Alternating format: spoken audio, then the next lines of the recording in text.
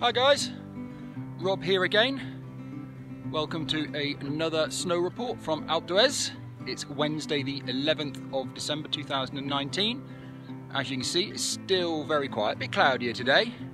For those of you that follow our dump alert service, you'll know we had a massive dump of snow Sunday night through pretty much all day Monday. Around 40 centimetres fell here at resort level of 1850 and probably over 50 centimetres up on the higher slopes at the top of the Pic Blanc behind me up at 3,300 metres.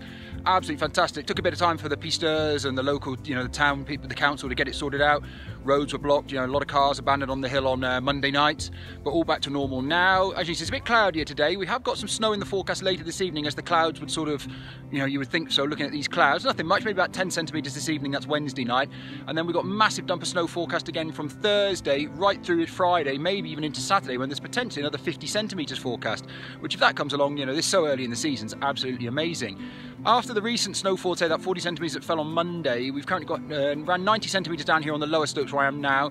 For those of you that know Resort, I'm on the side of the Rif Nel sort of beginner slope. I'm just on my cross-country skis about to head up to the uh, Nordic ski area.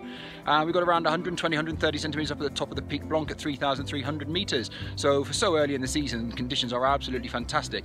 As you can see, it is absolutely deserted. I mean, there is literally about three or four people here on this is normally a busy beginner's slope. Um, but as you can see, it's very, very quiet. So I'm going to clip my skis on, head off up around to the uh, Nordic area, and I'll catch up with you up there. See you in a second.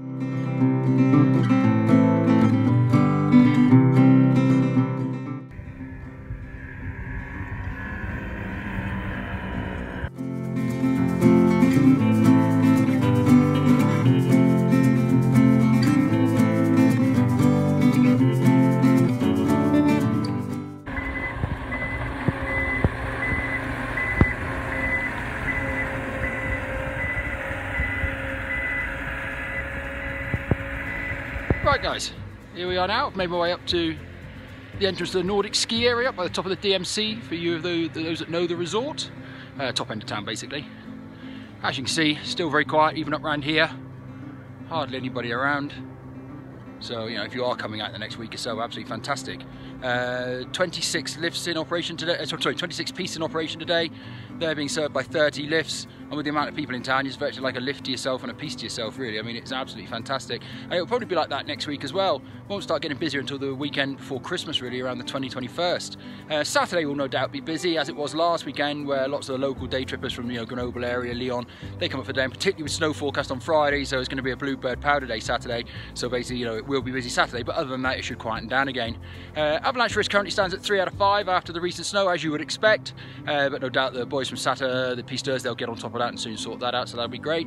Uh, long-term forecast looks to be a bit of snow, sort of it's unsettled up until Christmas, so I think we should see a fair bit more snow and up until Christmas, which will be fantastic. And obviously, so early in the season to be where we are now is absolutely amazing. So if you are coming out Christmas, New Year, anytime into January, I mean, the conditions so early in the season are absolutely fantastic.